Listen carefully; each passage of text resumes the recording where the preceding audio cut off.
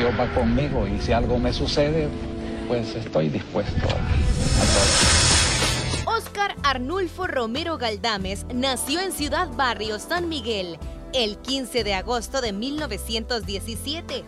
Era el segundo de ocho hermanos. Creció en el seno de una familia humilde y modesta.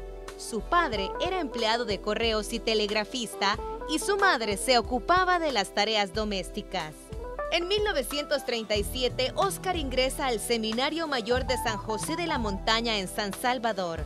Siete meses más tarde, es enviado a Roma para proseguir sus estudios de teología. En Roma le tocó vivir penurias y sufrimientos causados por la Segunda Guerra Mundial. Óscar Arnulfo Romero fue ordenado sacerdote a la edad de 24 años en Roma, el 4 de abril de 1942. La primera parroquia donde fue enviado a trabajar fue en Anamoros La Unión, pero poco después fue llamado a San Miguel, donde realizó labores pastorales durante 20 años. Impulsó muchos movimientos apostólicos.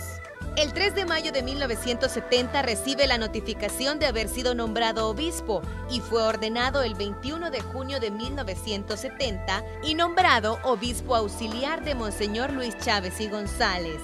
En medio de un ambiente de injusticias, represión e incertidumbre, Monseñor Romero fue nombrado arzobispo de San Salvador el 3 de febrero de 1977.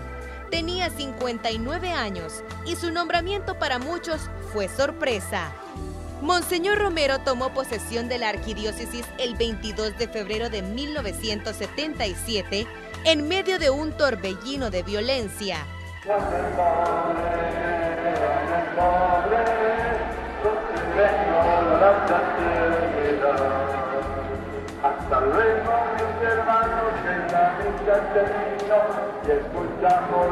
La ceremonia de toma de posesión fue sencilla y sin la presencia de autoridades civiles ni militares. Monseñor puso a la arquidiócesis al servicio de la justicia y a la reconciliación del país. En muchas ocasiones se le pidió ser mediador de los conflictos laborales Creó una oficina de defensa de los derechos humanos y abrió las puertas de la iglesia para dar refugio a los campesinos que venían huyendo de la persecución en el campo. A pesar de dar claridad a sus predicaciones, Monseñor fue calumniado. Le acusaron de revolucionario marxista y de incitar a la violencia y ser causante de los males del Salvador.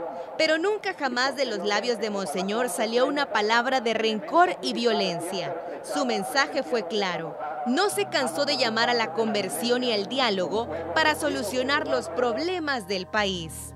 Más bien las están ocupando contra la voluntad de la iglesia, pero la iglesia comprende que esta reacción de estos grupos populares es porque no encuentran unos cauces oficiales donde podrían expresar ese descontento que llevan a ellos pues no se les oye en una asamblea, no hay diálogo con ellos entre las instituciones del Estado, más bien se les reprime, se les rechaza, y ellos buscan pues para ser oídos hacer estos escándalos, para ocupar iglesias, ocupar embajadas.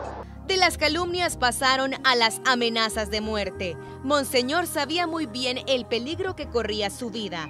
A pesar de ello, dijo que nunca abandonaría al pueblo y lo cumplió. Su vida terminó igual que la vida de los profetas y de Jesús. Fue asesinado el 24 de marzo de 1980 mientras celebraba misa en capilla del Hospital La Divina Providencia en San Salvador. Sus restos se encuentran en la cripta de Catedral Metropolitana de San Salvador. La Arquidiócesis de San Salvador ha postulado en el Vaticano la causa por la canonización de Monseñor Romero. Para muchos, Monseñor Romero es un profeta y un santo. Para Hola El Salvador, Lorena Mengíbar.